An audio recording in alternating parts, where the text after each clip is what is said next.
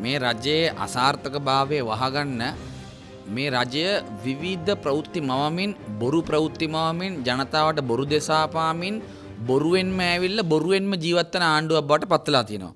මං කියන්න කැමති දැන් පෙරේද දවසේ තිබ්බ පාර්ලිමේන්තුවේ අධ්‍යාපන අමාත්‍යංශයේ වැෑශීර්ෂය. එතකොට අධ්‍යාපන අමාත්‍යංශයේ වැෑශීර්ෂ වෙලාවේ අධ්‍යාපන අමාත්‍යංශයට වෙන් කරලා තියෙන මුදල් ප්‍රමාණය ඒ කියන්නේ භෞතික සම්පත් දියුණු කිරීම සඳහා ගුණාත්මක ප්‍රතිඵල අපේක්ෂාව වෙන් කරලා තියෙන මුදල් ප්‍රමාණය පිළිබඳව විශාල කතිකාවක් ඇති වුණා.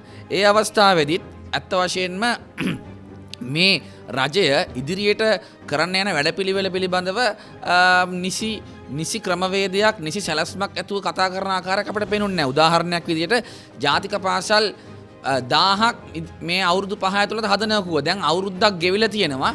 පළවෙනි අවුරුද්ධ එකසේ විසිතුනක් ජාතික පාසල් හදනකුව හැබැයි අද වෙනකං හදන එක කෙසේ වෙතත් පලාස් සභාවලට අයිති ජාතික පාසල් එකසිය විසිතුන විසිතුනක් ගැසට් කිරීමුවත් කරල නෑ.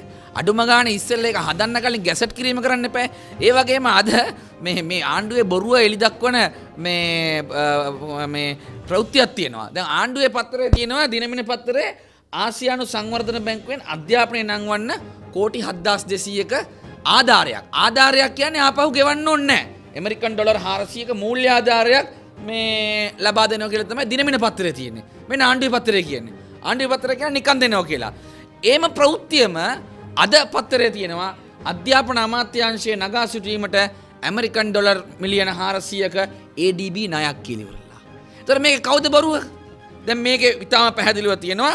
සහන අවුරුදු පහක සහන කාලයකුත් එක්ක අවුරුදු විසි පහකින් ගෙවන්න බින්දුවයි දස්සම පහක පොලි අනුපාතකරතය මේක දෙන්න කියලා.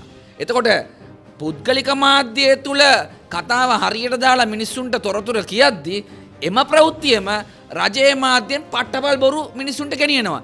අන්න ඒ නිසා තමයි අපි කියන්නේ බොරුවෙන් ඇවිල්ලා බොරුවෙන්ම ජීවත් වෙන කවදා හරි බොරුවෙන්ම කෙලවෙලා යන ආණ්ඩුවක් කිලිවර. Breaking.lk